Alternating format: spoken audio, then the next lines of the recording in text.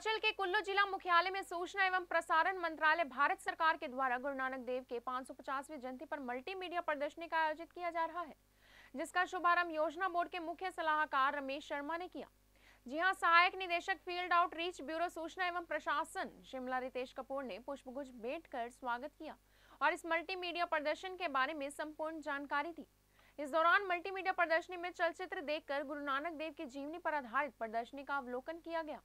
Media प्रदर्शनी में LCD पर गुरु नानक देव से जुड़े कई चीज़ों के बारे में जानकारी दी जा रही है। कुल्लू जिला में 19 नवंबर तक इस मल्टीमीडिया प्रदर्शनी का आयोजन किया जाएगा। इस प्रदर्शनी में गुरु नानक देव की शिक्षाओं व विभिन्न प्रकार की घटनाओं के बारे में जानकारी दी जा रही है। आज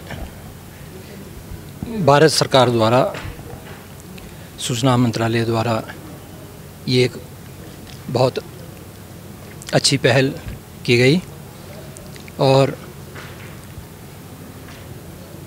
भारत के यशस्वी प्रधानमंत्री आदरणीय श्री नरेंद्र मोदी जी द्वारा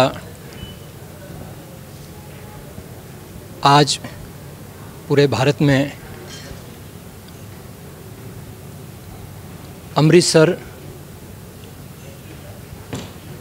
और कुछ एक चिन्हित जगहों पे इस कार्यक्रम का आयोजन किया गया।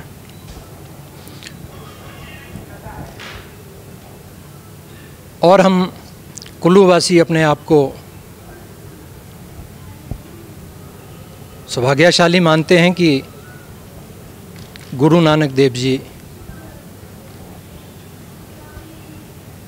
जो आज समाज में एक मार्गदर्शक के तौर पे आज भी उनके पश्चिमों पे भारत वर्ष ही नहीं, बल्कि विश्व में लोग उन्हें अपनाते हैं। और हमारा ज़िला कुल्लू, मणिकरण गुरुद्वारा साहिब में गुरु नानक देव जी के चरण पड़े और ज़िला कुल्लू को भी पवित्र किया। और इस मौके पर सूचना मंत्रालय द्वारा यहाँ पे एक अच्छा ज़िला कुल्लू में गुरु नानक देव जी के उनका सौहार्द स्वभाव जो देखने को जो आज इस चैनल के ज़रिए जो काफ़ी चैनल जहाँ पे आठ दस चैनलों द्वारा उनके जीवनी के बारे में बताया गया और बहुत अच्छा लगा। गुरु नानक देव जी ने हमेशा समाज को एकत्रित करके रखा और हमेशा समाज के प्रति आज भी सभी लोग उनका मान सम्मान करते हैं। जेबीडी बैंक लाए हैं incredible marriage palace Rajgharana and the finest banquet hall Jyoti garden world class catering centrally air condition lush green lawns state of the art lightning a perfect venue for wedding launching and parties Rajgharana and Jyoti garden and JBD banquets enterprise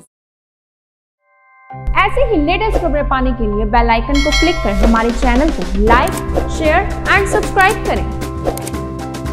धन्यवाद।